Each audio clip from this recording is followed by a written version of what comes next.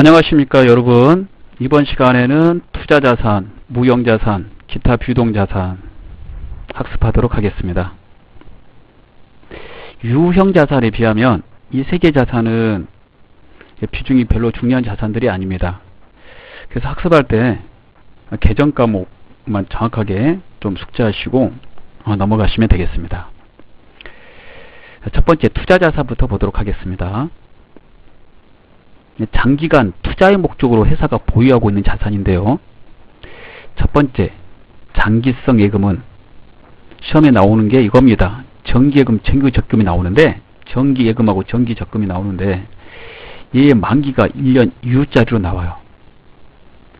그래서 지문에 정기예금 통장을 만들었다라고 그랬을 때 그 만기를 반드시 확인하시고 회계 처리해 주셔야 됩니다.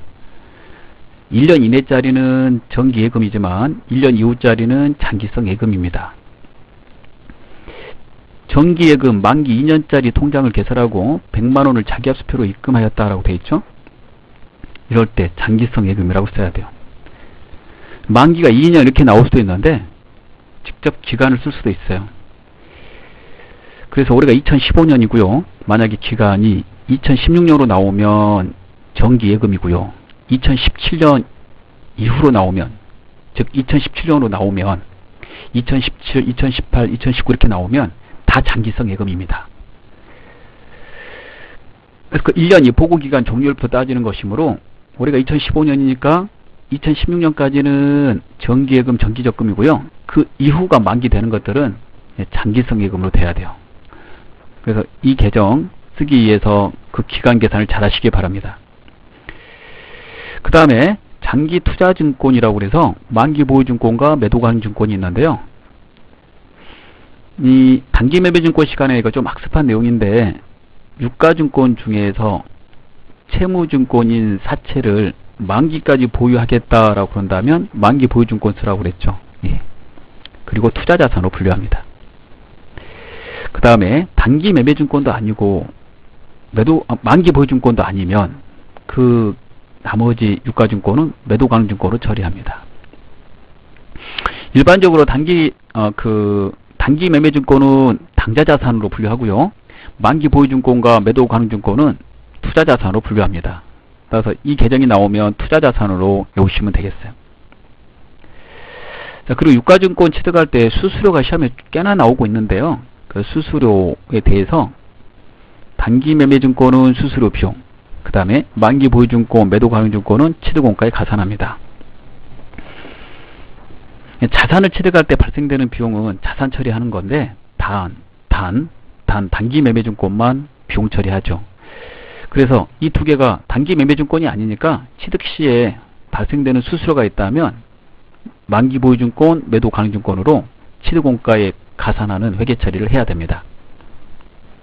그 점 또 알아두시면 되겠습니다.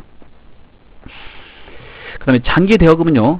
해수기간이 보고기간 말로부터 1년 이후에 도래하는 대여금을 말합니다. 따라서 2017년 이후에 해수하기로 하고 돈을 대여했다면 장기 대여금 쓰시면 되겠어요. 예제 나라 상사에 3년간 100만원을 대여하고 이렇게 나오죠. 이게 장기 대여금이죠. 그 다음에 차용증서 쓰고 보통예금 계좌에서 이체했다. 대변의 보통예금. 장기간 대여한 거는 투자 활동으로 보는 거예요. 자, 이 세 개 외우시면 되겠습니다. 자, 그 다음에 무형자산 보겠습니다. 자, 무형자산은 이제 물리적 형체가 없는 자, 그러한 자산이고요.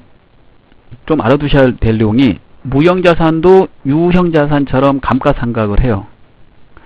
근데 상각기간에 대해서 일반 기업 회계 기준에서 다음이 들어있어요. 20년을 초과할 수 없다. 이거 밑줄 긋고요.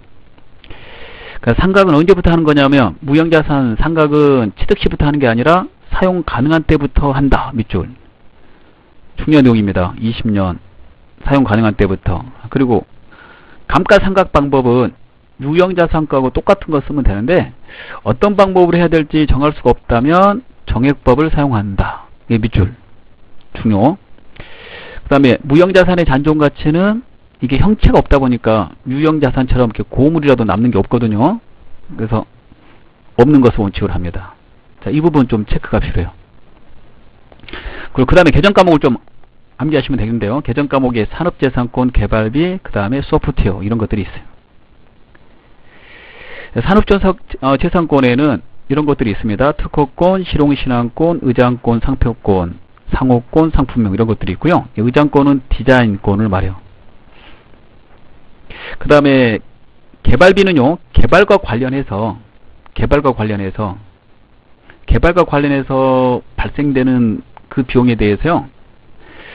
개발 초기에는 비용으로 처리하고 그 다음에 개발을 계속해 나가다 보면 그 개발한 제품을 출시해서 제품으로 만들어서 팔면 확실하게 수익이 많이 날 것 같다 그러면 그 시점부터 들어간 개발비는 미래 경제적 효익 가능성이 크다고 보고 결정한 것이기 때문에 자산 처리하도록 되어 있습니다.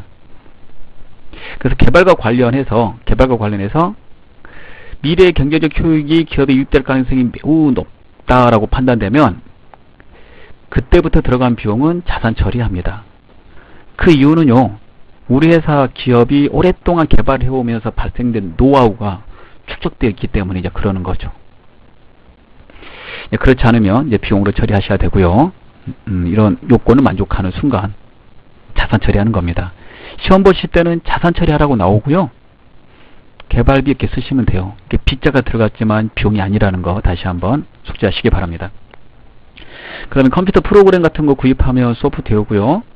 그 다음에 다른 회사를 인수 합병할 때 추가로 주는 그 웃돈, 그 영업권도 있습니다.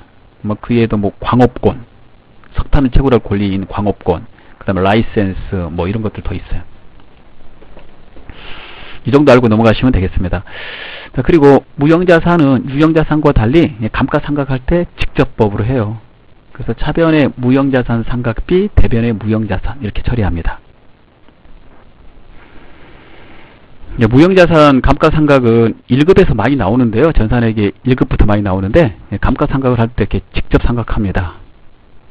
감가상각 누계기란 계정을 무형자산에서는 주로 쓰지 않고 직접 상각해요. 그래서 무형자산 상각비, 판관비에 속하는 건데 네, 이런 계정도 있다는 거 알아두시면 되겠습니다. 자, 마지막에 이제 기타. 네, 기타는 이제 투자도 아니고 유용도 아니고 무용도 아니니까 기타가 된 건데요. 네, 기타에서 임차보증금 하나만 아시면 되겠어요. 전산회계 2급 시험에서는 임차보증금만 나오고 있습니다. 다른 사람의 타인의 부동산, 동산 등을 보증금의 올세 이런 조건으로 우리가 사용하고자 한다면 그때 내는 그 보증금이 임차 보증금입니다. 뭔가를 빌려 쓰기 위해서 상대방이 보증금을 원한다 그러면 보증금을 지급을 해야 되는데 그 보증금이 임차 보증금입니다. 임차 보증금은 돌려받는 것이기 때문에요. 우리 회사의 자산이고 돌려받는 돈이므로 채권에 해당되기 때문에 거래처를 입력하셔야 돼요. 어, 채권 채무에는 실기시험 볼 때 거래처를 입력하거든요. 근데 여러분들이 임차보증금의 거래처를 많이 누락하고 있어서 아, 이거 조금 더 거래처 입력 대상이라는 것도 하나 더 알아두셔야 되겠습니다. 임차보증금의 반대가 임대보증금이라고 말을 했죠. 음.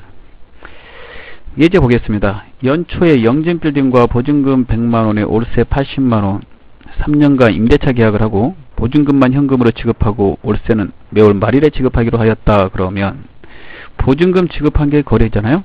월세는 아직 회계 처리 해야 되는 기간이 아니고 뒤에 건 거래가 아님. 그럼 이게 보증금이 뭐냐? 그러면 임차 보증금이죠. 그리고 대변의 현금이 되고요. 이 임차 보증금이 무슨 자산이냐? 그러면 기타 비유동 자산입니다. 기타 비유동 자산은 투자, 유형, 무형 자산에 속하지 않는 것들이기 때문에 이런 것들 더 계속 있을 수 있어요. 예, 장기 외상 매출금, 장기 받으럼, 장기 미수금 뭐 등등등등 음, 안 나와요. 예, 잘. 이거 하나만 아시면 되겠습니다. 이상 어, 나머지 기타 나머지 비유동자산에 대해서 했어요. 유형자산을 뺀 나머지 비유동자산을 다 학습했습니다. 유형자산이 비유동자산에서는 제일 중요한 거고요. 예, 나머지 이 비유동자산들은 유형자산에 비하면 중요하지 않으나 그 개정 과목들은 꼭 알고 있어야 됩니다. 시험에 나오고 있기 때문에. 그래서 장기성의 금, 장기대여금, 개발비, 임차보증금 얘네들이 중요한 계정입니다. 이번 시간에 여기까지 하도록 하겠습니다. 감사합니다.